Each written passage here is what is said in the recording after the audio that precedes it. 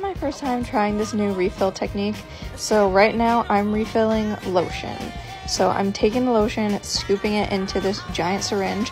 I had no idea they made syringes this big, but the only problem with it is like the opening is kind of small, so you have to push super hard in order to get the lotion out.